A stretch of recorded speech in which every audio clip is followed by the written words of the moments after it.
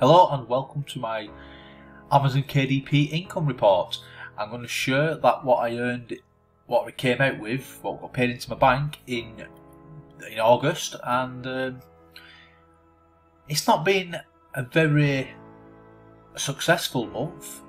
I've not earned that much, and I've not created any new books. To be fair, guys, but let's get into it and let's show you. But before we do get into it this is my channel, Make Money with Jay. Feel free to come and check it out.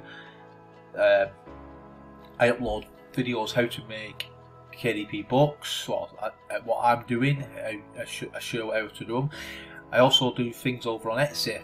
Um, I also show niche ideas for KDP, so feel free to come and check them out. These seem to be my best videos that I'm making, yeah, the uh, niche ideas.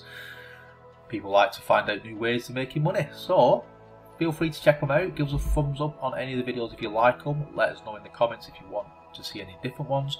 But yeah, let's get into it. So over on Amazon, I earned from the Spanish Amazon, I earned nine euros and twenty four.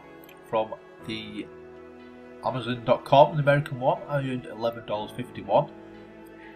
I earned from the Italian one, twelve euros and thirty two. From Australia, I made two dollars and ninety. I think it, it classed as. The French Amazon, two dollars, uh, two euros and fifty-eight, and then the UK, which is my main marketplace, I made ninety-four dollars, guys. So as you can see, it's not a lot. It's not record-breaking. It's not nothing I can retire on yet, but every little helps. Yeah. Um, I need to start being more consistent with my uploads. I need to create more books. I've got to admit, when I first started on Amazon, most of my books was for Christmas, not just like, not just your everyday niches. Yeah, there was um, all Christmas ones like Christmas colouring book, Christmas activity books. Yeah, and so I need to start making a bit more. Um, a variety of ones, like evergreen ones where you can buy throughout the year. Uh, I don't have many notebooks. Um, I'm not one of these who wants to jump on and just spam Amazon with loads of notebooks. I don't.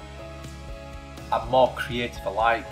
I'd say creative. I like to be creative. I like to try to make good books, um, like entertaining books, like your colouring books and activity books, puzzle books.